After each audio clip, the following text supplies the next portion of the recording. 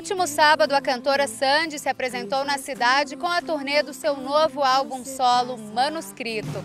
Depois de tanto caminhar, depois de quase desistir, os mesmos pés cansados voltam pra você.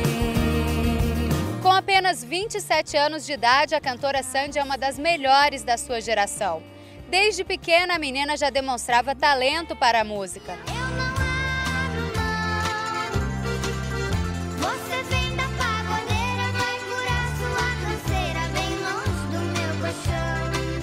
Fez então parceria com seu irmão Júnior e se tornaram uma das duplas mais famosas do Brasil.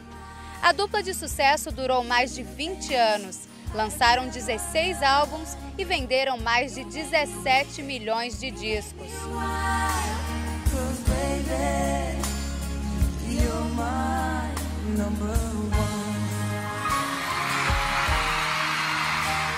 Hoje, em carreira solo, a cantora busca novas realizações.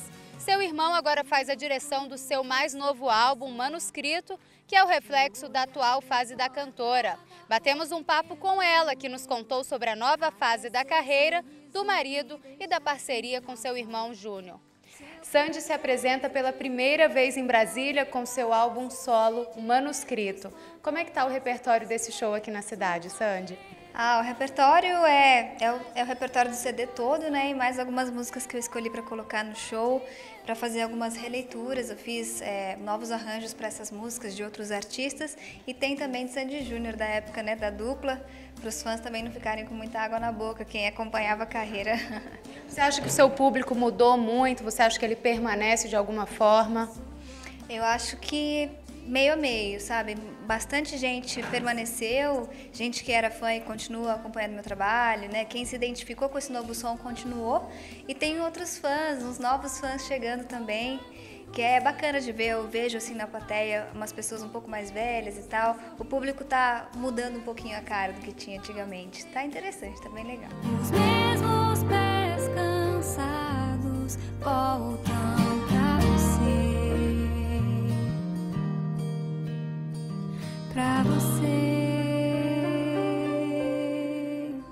o Júnior continua presente no seu trabalho de uma certa forma, né? Dá pra matar a saudade? Como é que tá tudo isso? É, dá pra matar a saudade, é bom, é muito bom trabalhar com ele. Dessa vez ele trabalha comigo como diretor do meu show, né? Ele dirigiu, fez a direção geral do show e mandou muito bem, né? Assim, eu sou suspeita de falar, mas na minha opinião ele mandou muito bem. Eu achei que o show ficou muito bem amarradinho, bonitinho, o cenário tá lindo. É, foi ele que fez a concepção junto comigo de tudo. Então mandou muito bem e a gente se dá super bem trabalhando, né? Então mais, mais uma oportunidade de matar a saudade dele. E você já cantou com diversos artistas aí consagrados nacionais e internacionalmente. Tem algum assim que você tem uma preferência que você admire mais? Nossa senhora, difícil. Nossa, eu gosto de tantos. É, acho que na verdade eu só cantei com gente que eu admiro, sabe? Mas um que ainda é, eu fico emocionada ainda só de lembrar que pude fazer uma parceria junto foi é, o Caetano Veloso, né? Que é um grande ídolo não só para mim, mas para o Brasil inteiro, né? E fora do Brasil também. Então, quando eu cantei com ele, fiquei emocionada, ficava até trêmula, assim, sabe? Às vezes em que eu cantei com ele. E são coisas que marcaram muito. O seu marido também tem uma carreira musical. Isso influencia também no seu trabalho de alguma forma? Ah, então, o trabalho dele é bem diferente do meu.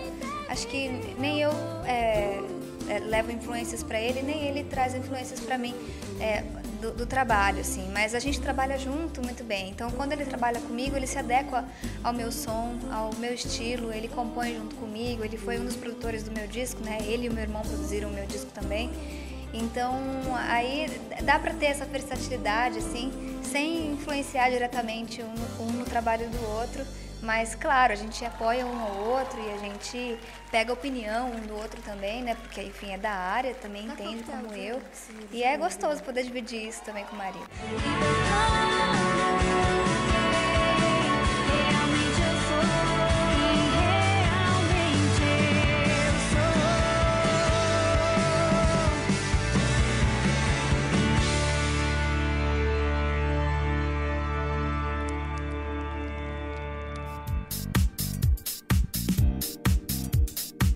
A comitiva das organizações dos estados americanos foi à Uniceub conhecer o núcleo de práticas jurídicas da instituição.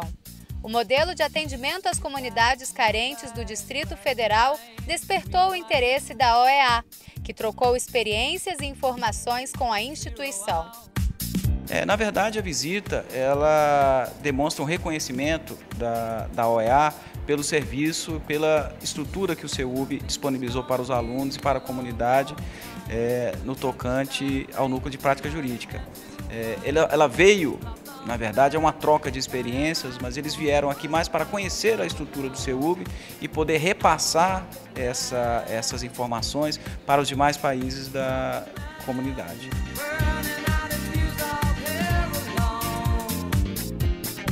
El diagnóstico que se ha hecho en varias actividades de esas universidades es que hace falta una atención integral, una atención global que integre diversas disciplinas. Y creemos que si podemos lograr que con el apoyo de CV otras universidades de la región copien esta experiencia, sería un éxito y estaríamos contribuyendo a seguir